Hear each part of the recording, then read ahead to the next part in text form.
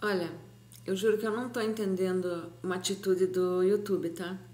Porque o meu canal, ele é para maiores de 18 anos, né? Aliás, o YouTube faz questão que eu coloque os meus vídeos sempre para maiores de 18 anos, em geral, pelo menos que não é para criança, as coisas que eu faço, tá? As coisas só de falar, assim, de, né? Os assuntos que eu abordo. Raramente tem alguma coisa que é livre no, no meu canal. Só que tem o seguinte, eu fiz um vídeo hoje lá na, na Laurita, na loja lá. E ele estava ali no, no YouTube, né? E o que aconteceu?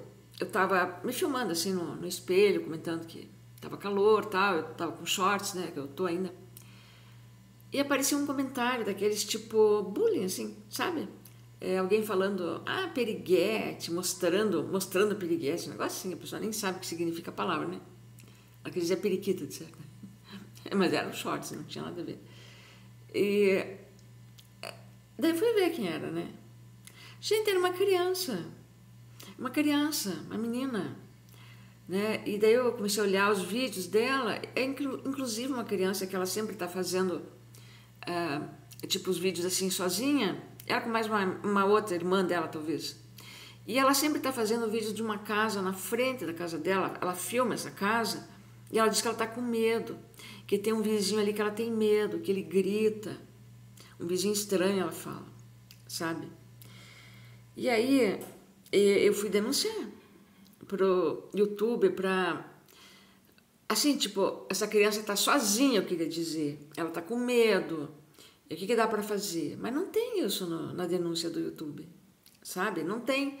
É, só tem assim, se a pessoa fez alguma coisa para você, né?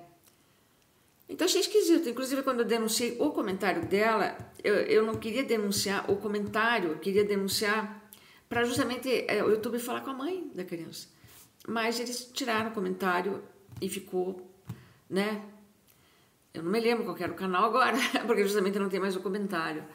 É, então não sei como que a gente faz, porque agora o YouTube tirou, eu não me lembro quem é, e, e essa criança está correndo algum perigo, eu acho, algum risco, porque ela fica faz vários vídeos filmando aquele tipo um predinho assim na frente da casa dela, dizendo que tem um homem louco ali que tem um olhar de louco, alguma coisa assim, que ele grita.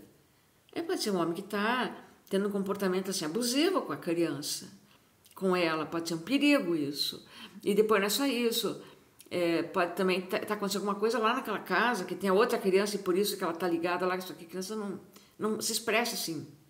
E agora não sei o que fazer. Porque eu fiquei muito preocupada, sabe? Eu, eu deixei um recado num dos vídeos dela que ela estava falando que estava com medo daquele homem. Eu falei para ela que se ela estava com medo dele era para ela falar com a mãe dela e com o pai, né? É, que eles têm que saber. Eu não sei se vai adiantar, mas agora eu não lembro quem é.